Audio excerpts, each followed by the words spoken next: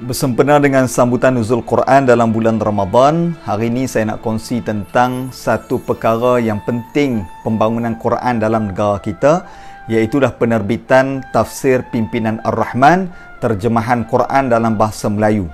Hampa tahu ke tak tafsir pimpinan Ar-Rahman?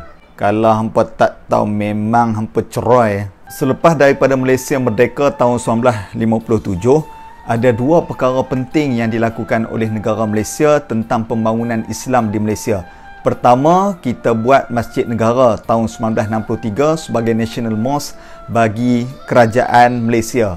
Nombor dua adalah kita keluarkan, terbitkan satu tafsir pimpinan Rahman, terjemahan dalam bahasa Melayu yang kita buat juga tahun 1963 untuk memberi kefahaman mudah kepada masyarakat Islam tentang Al-Quran. Dulu sebelum merdeka, ramai daripada kita umat Islam di Malaysia ni mengaji tentang Quran, mengaji tentang tafsir Quran menggunakan kitab dalam bahasa Arab dan juga kitab daripada Indonesia.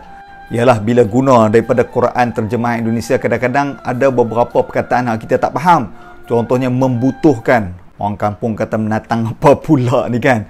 Akhirnya Tengku Abdul Rahman Putra Al-Haj Perdana Menteri pada waktu itu mendapat perkenan daripada Majlis Raja-Raja tahun 1963 mulakan kerja untuk membangunkan terjemahan Quran dalam bahasa Melayu yang dikenali sebagai Tafsir Pimpinan Ar-Rahman. Tafsir Pimpinan Ar-Rahman ini diterjemahkan oleh seorang syekh bernama Syekh Abdullah Basmih bin Syekh Muhammad Basmih yang merupakan uh, seorang berketurunan Arab tapi duduk di Malaysia sejak daripada umur 12 tahun lagi.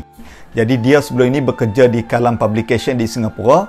Kemudian Tengku Abdul Rahman ambil dia bekerja di bahagian Hal Ehwal Agama Islam Bahis Jabatan Perdana Menteri yang kini dikenali sebagai JAKIM dan waktu itulah kerja-kerja penterjemahan dimulakan dan dia mula terbit dengan 10 jilid yang pertama iaitu 10 juzuk pertama tahun 1968 kemudian terbit pula juzuk 10 yang kedua tahun 1970 dan terbit jilid yang ketiga 10 juzuk terakhir tahun 1972 dan Jakim terjemahkan ataupun jilidkan dalam satu jilid penuh tahun 1980 Alhamdulillah sejak daripada tu umat Islam di Malaysia dapat faham terjemahan Quran cerita ayat ni cerita tentang apa surah ni bagi tahu tentang apa ayat ni tentang hukum apa dan sejak daripada itulah umat Islam mula faham tentang Quran isi kandungan Quran dan pembangunan kepada tafsir Quran mekar sejak daripada wujudnya tafsir pimpinan Ar-Rahman terjemahan Quran dalam bahasa Melayu.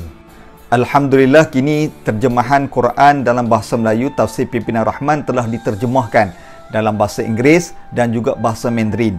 Dan dalam masa terdekat ini juga akan dibangunkan juga tafsir pimpinan Ar-Rahman terjemahan dalam Braille pula dan mudah-mudahan dengan pelbagai bentuk terjemahan ini mungkin pada masa depan akan ada terjemahan Tamil, terjemahan bahasa Iban dan sebagainya untuk memberi kefahaman kepada masyarakat di Malaysia tentang Al-Quran dan terjemahan ayat-ayat suci Al-Quranul Karim.